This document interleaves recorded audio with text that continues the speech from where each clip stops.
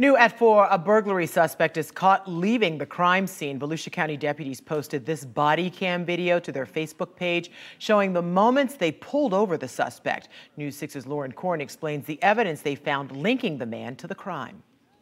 The homeowners weren't home at the time, but immediately contacted their neighbor after they learned that their alarm had gone off. And sure enough, the neighbor says she went outside and saw a car in the driveway that wasn't supposed to be there. What were you doing behind that house down there? Doing work around this house. It didn't take long for a deputy to unravel 41-year-old Justin Aldrich's story, claiming to pressure wash a house that authorities say he burglarized on Monday afternoon. The house that you were in, they spoke to the homeowner and they, there nobody's supposed to be there. You're gonna go pressure wash the house, and then that mean what you do when you pressure wash the house is you basically go through the window to get in the house. Yeah, you got to.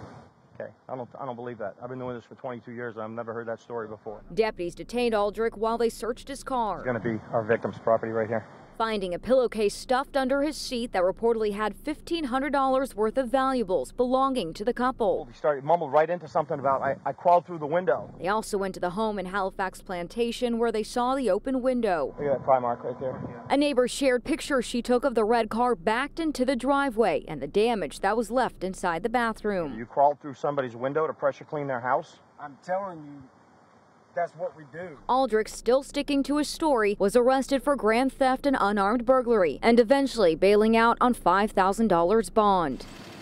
In Ormond Beach, Lauren Korn getting results, News 6.